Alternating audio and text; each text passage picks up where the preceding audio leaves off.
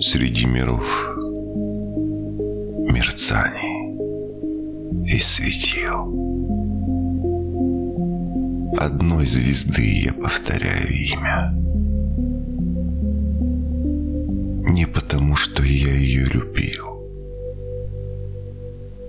а потому, что я томлюсь другими. И если мне в сомнениях тяжело,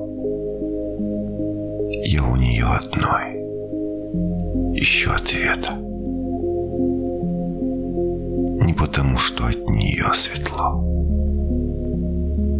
а потому, что с ней не нужно света.